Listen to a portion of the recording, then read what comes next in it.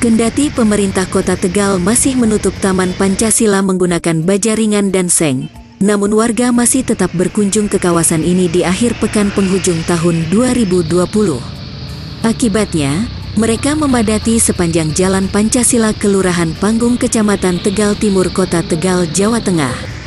Pantauan di lapangan, sejumlah petugas Satpol PP Kota Tegal terus berjaga-jaga di sekitar kawasan Taman Pancasila.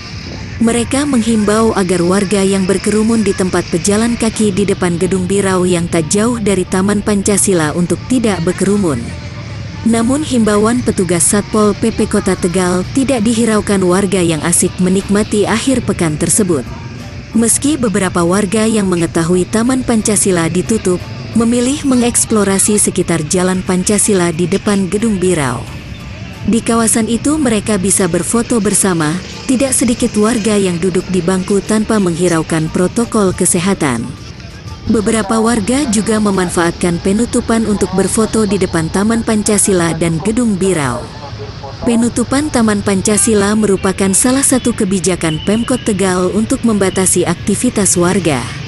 Langkah ini diambil untuk menekan penyebaran kasus COVID-19 di Kota Tegal yang terus meningkat. Dari Tegal, Jawa Tengah, kabar beritaku mengabarkan.